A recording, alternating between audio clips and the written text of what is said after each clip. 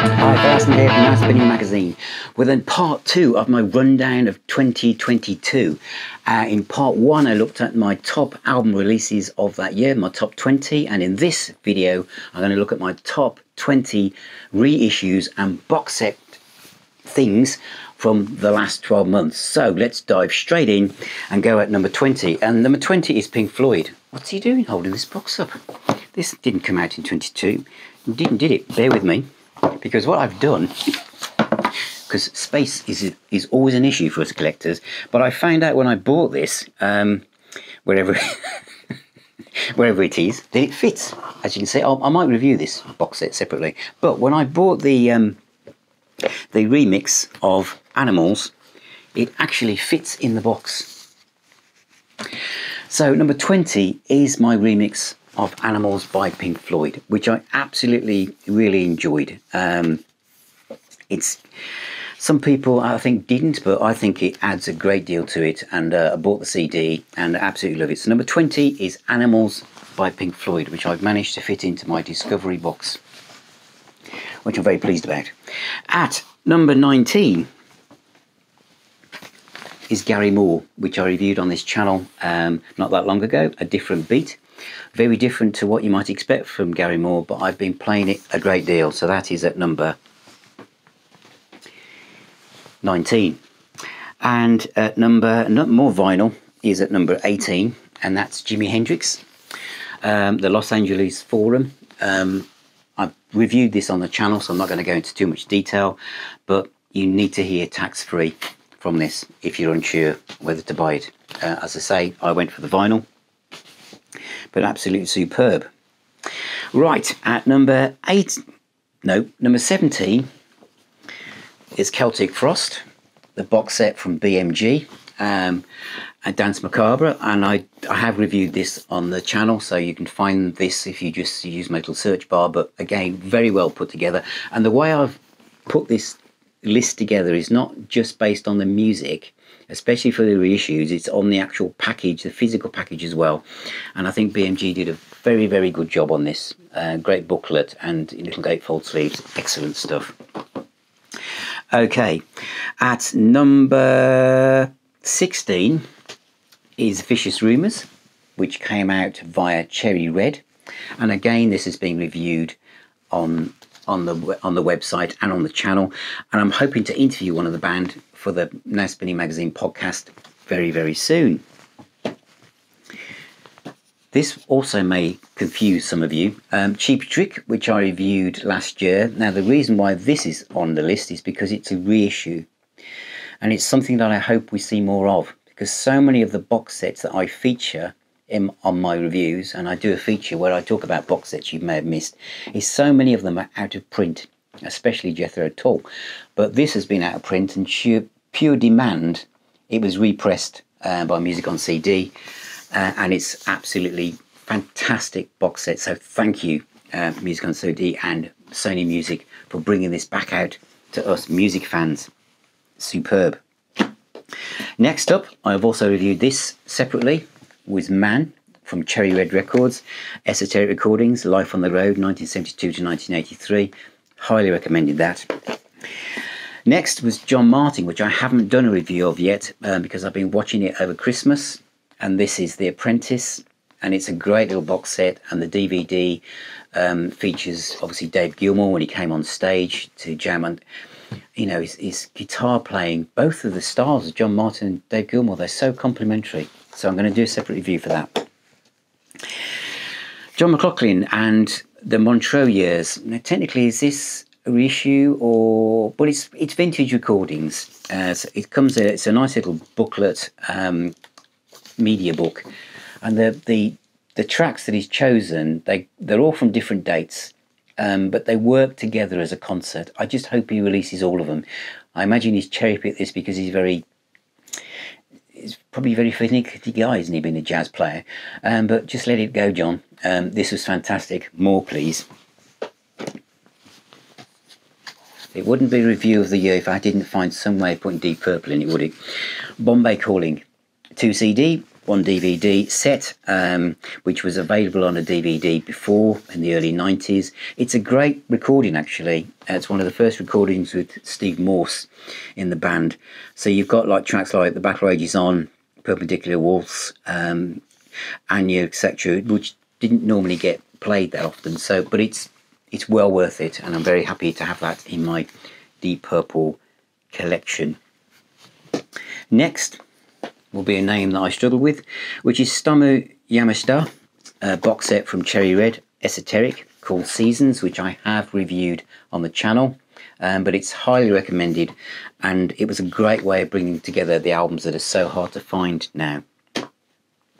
Next was from the Demon Music Group, which again is something I reviewed extensively here, which is Steve Ellis 10 CD box set called Finchley Boy. Um, came a great booklet, and this one was autographed as well.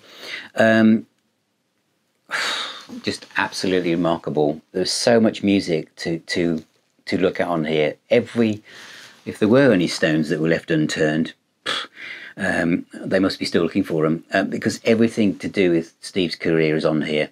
Absolutely fantastic. Some brilliant stuff way beyond Widowmaker if you're into rock music and the love affair, but absolutely fantastic stuff. So at number eight is more vinyl, and it's Rory Gallagher. Where has this been? This was a record store release, um, live in San Diego, 1974. It's absolutely mind blowing. Messing with a Kid, Cradle Rock, I Wonder Who, Hands Off, Million Miles Away, Bullfrog Blues, and In Your Town. It's just absolutely amazing and highly recommended. And no, it's not on CD, um, but, but it's absolutely superb. Rory Gallagher, live in San Diego, 1974.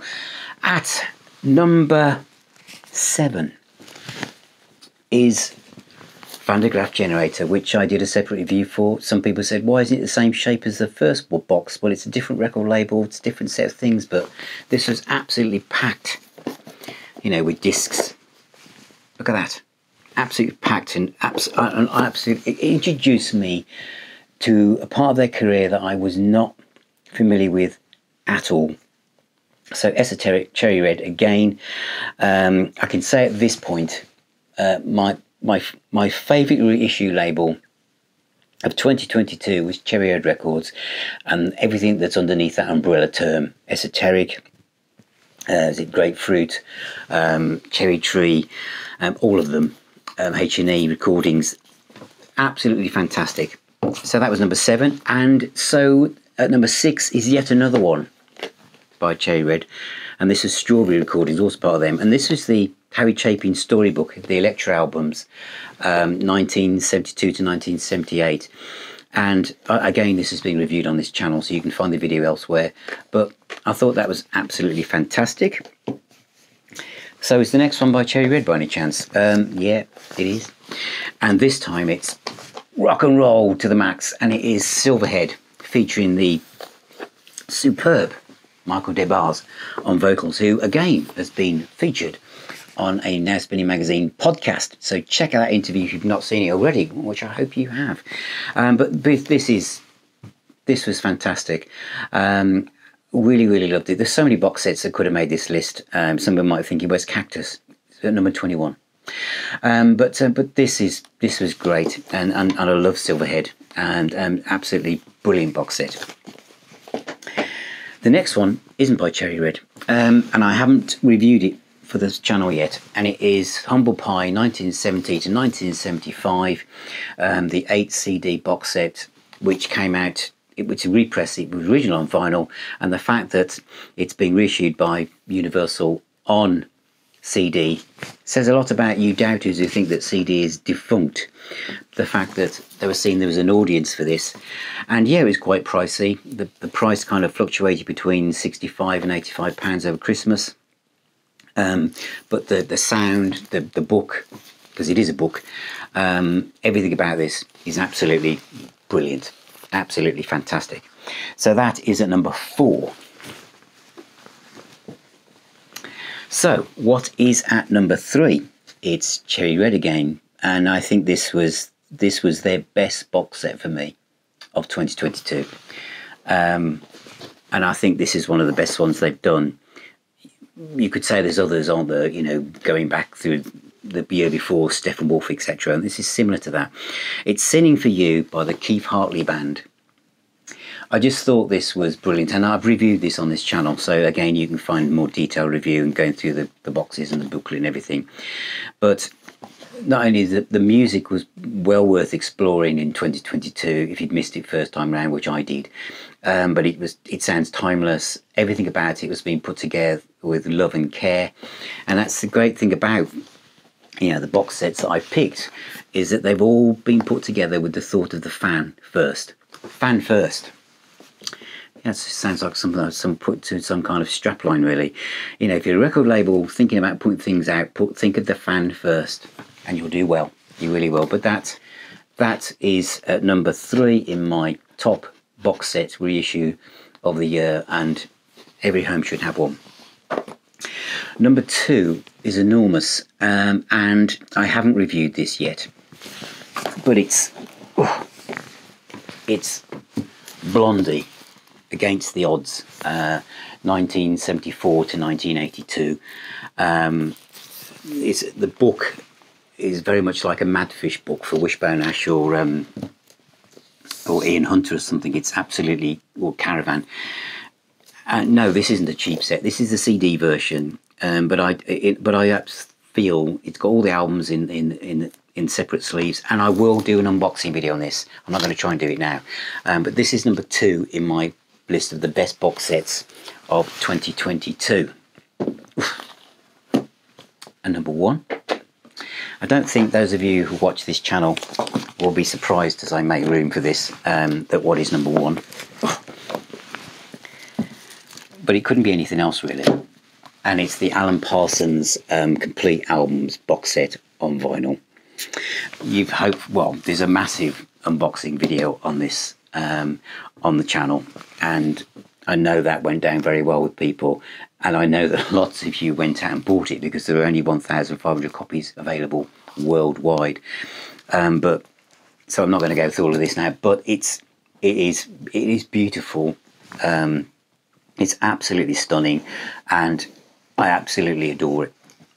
You know, for me, it was perfect because apart from a few albums and I've got a few CDs, um, you know, it's just it's something that just thought, yes, I'm gonna, you know, that that is fantastic, and I've, I've recommended it, and anyone who's I've heard back from quite a few of my patrons who've gone ahead and bought it, and they all absolutely love it.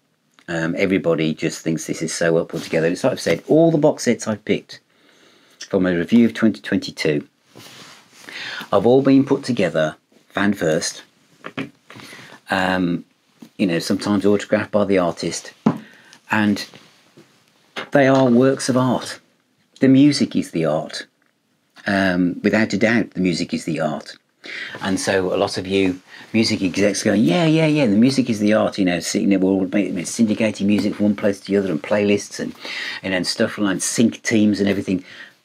But remember, the package is also part of the art. The musicians can talk and communicate through the music, but through the imagery the times, the memories, the, you know, the, the whole way that things like this put together is what makes it, which is what makes this so special for collectors. We are collectors. We're not hoarders. You know, we are we are people that love music and love just looking at it. And I've said on other videos, you know, that just taking these things off the shelf and going through it again and looking at the booklet and thinking, yeah, that, I, I want to look at where that track came from. Did he write that one? Who was the bass player on it? Yeah, we are interested in those kind of things. Who was the bass player on it? And, um, you know, and the, the artwork and who designed it? Who designed the artwork? Who produced it? What, what else did they work on? And again, final thoughts to, to Sony Music, who reissued the Cheap Trick set there are so many box sets as new fans come along and they start to think, oh, this is really good. I've discovered this from their older mates or their, their someone, you know, they've streamed something on someone's playlist and it's made them go down a rabbit hole. Uh, rabbit holes are good for music collectors. And they go and find out there was a box set that came out five or six years ago, but it's gone now. You know, th these things have short runs. And so there is a market still there. Oh, I'm waffling on again, sorry. Um, but that is my that is my review of 2022 and my favourite box sets of that year.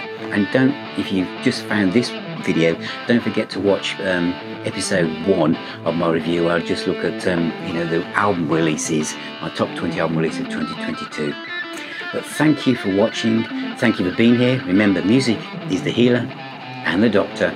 So take care of yourselves, stay safe, and I shall see you on my next video.